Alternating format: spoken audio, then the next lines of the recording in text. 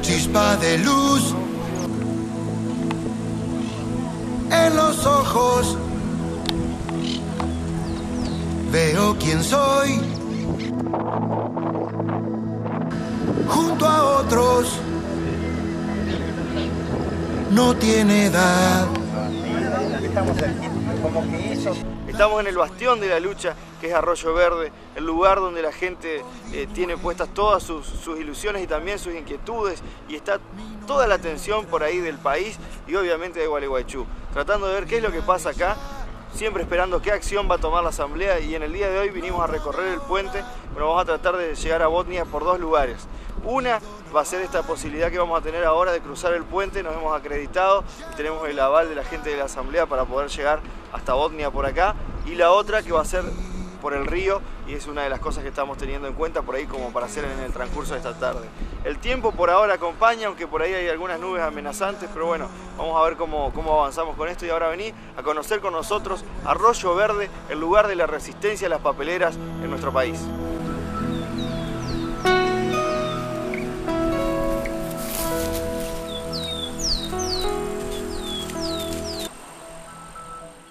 Voy a leer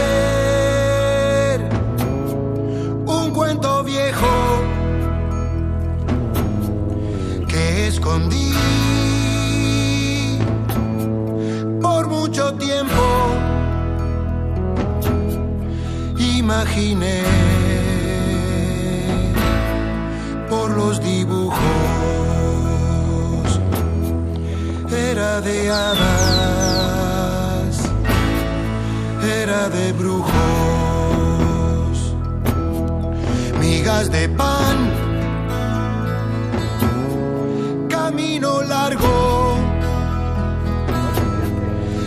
las comió.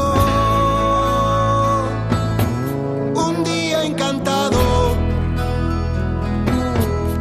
renacerá. Sueños más lindos entre amor,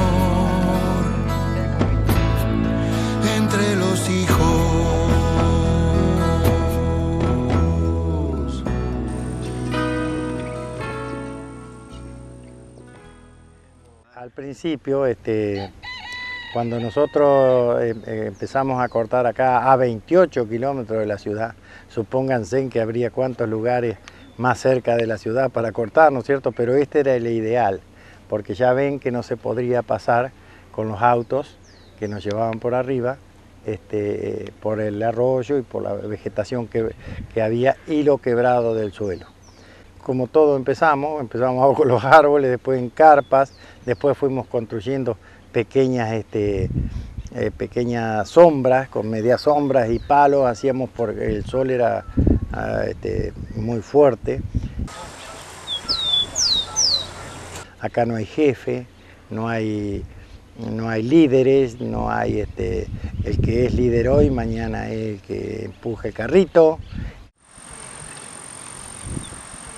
Yo les voy a dar dos ejemplos que se los doy a los chicos cuando los llevo a, ver las pasteras o si no voy a sus escuelas a incentivarlo con esto del asunto de las pasteras.